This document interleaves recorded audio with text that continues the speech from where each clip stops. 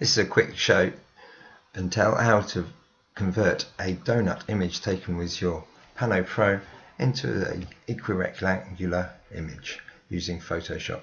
First, we need to open the donut image.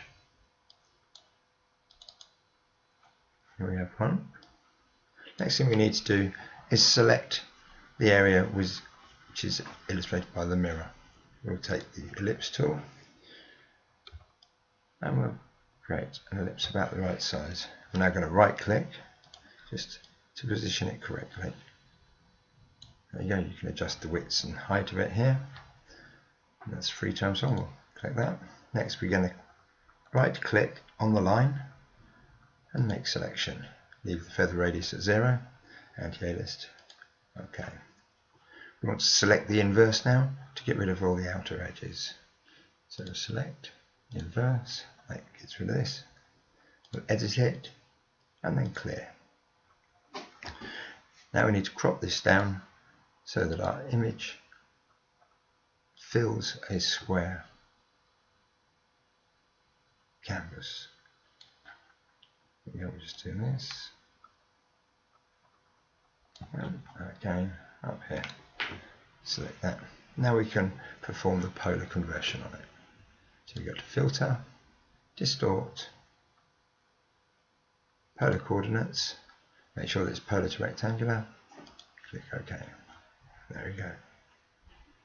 Now we need to invert this to get it back up the right way. So we'll just rotate it by 180 degrees. And now we need to resize it. So now we go to Image, Image Size.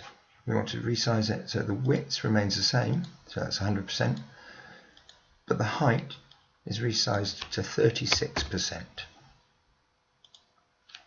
Like so. Now that's remained is to crop the area that we don't want to use, like the black area at the bottom and the top. Again, we go to crop. Now, I'm going to start just outside this to make sure that I don't crop any of the ends of this away. If the ends are cropped, you end up with a stitch or a seam line when you wrap it back up into a circle. So there we go, that's was saying there. And there we have our rectangular image ready to put into a player or to a hosting. All that's required now is to save it as a JPEG. Yeah, I'm going to save as unwrapped image.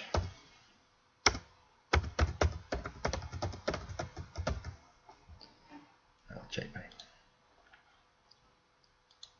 And there we go. Simple as that. Very quick, very easy, and a good result. Thank you.